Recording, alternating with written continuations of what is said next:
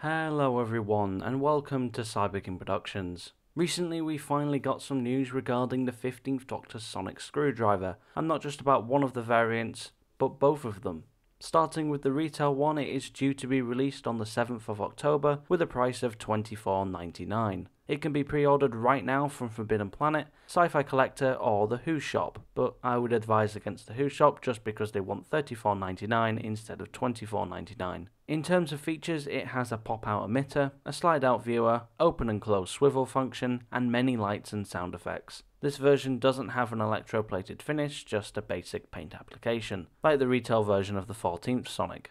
Moving on to the second variant, which is the Character Online exclusive version. This is the one from San Diego Comic Con a few months back, so I bet everyone who spent hundreds of pounds getting them in the UK are going to be real pissed that it's being released here. You'll be able to order this starting from the 24th of September. Hopefully they'll have a lot of stock so we don't get a repeat of what happened with the 14th Sonic last year. We don't know its price, but it's probably going to be around 35 to 40 pound. It has all the same functions as the retail one except for some extra lights and sounds, as well as an electroplated finish. I really hope Character don't start making this a recurring thing of releasing two versions of a Sonic every time. It's a bit annoying in my opinion.